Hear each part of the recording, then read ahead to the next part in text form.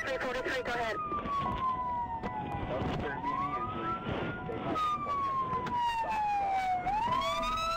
We already have 5,000 people who die every year in collisions with large commercial trucks and 100,000 injured.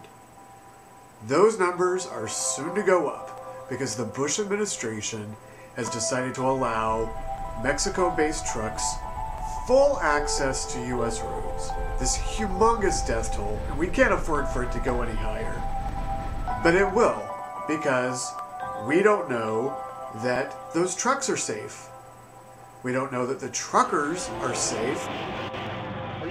The Bush administration has decided that if a truck was manufactured in 1996 or later, it'll be safe enough. Holy crap! Congress tried to put a stop to it. Actually, did put a stop to it. Last year, Congress said no funds shall be used to establish a pilot program for NAFTA trucks.